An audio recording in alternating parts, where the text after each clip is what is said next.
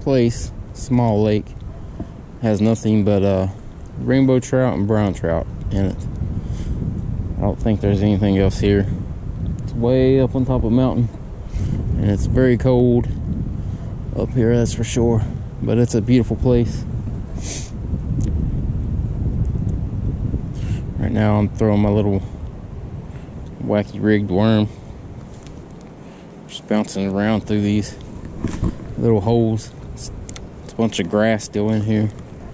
I've seen some jump up, but I haven't got any bites yet. But man, it's cold up here.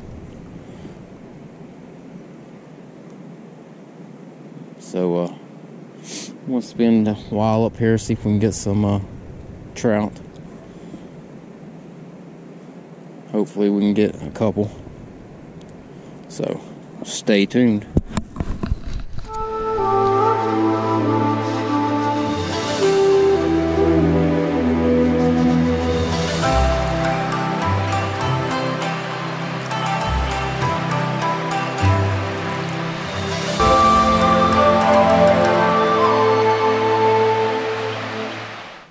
Trout popping up everywhere out there.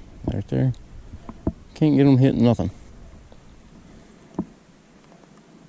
There's they're all over the place out there.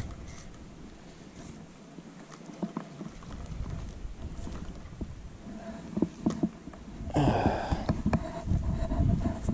to switch up bait. There's a herd of ducks come to visit.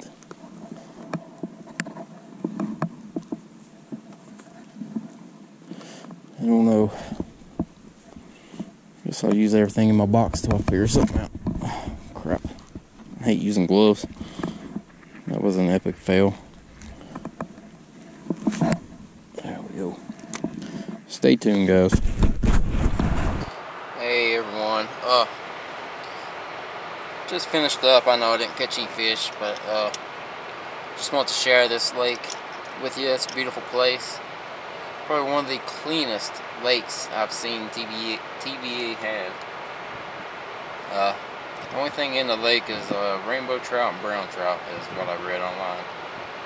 And uh, main reason I want to uh, post the video was any of you local guys that fish here. It is uh, Wilbur Lake in uh, Tennessee. If you guys fish here, um, help me out a little bit. I've seen trout uh, coming up and feeding on top, and I threw everything I had, and I couldn't get them to bite nothing. But uh, I just wanted to see if I can get any info from any of you guys on this one to help me out. So if you've fished here or know a few baits that's good here, uh, drop me a comment, let me know. And uh, hope y'all enjoyed this little video and uh, stay tuned.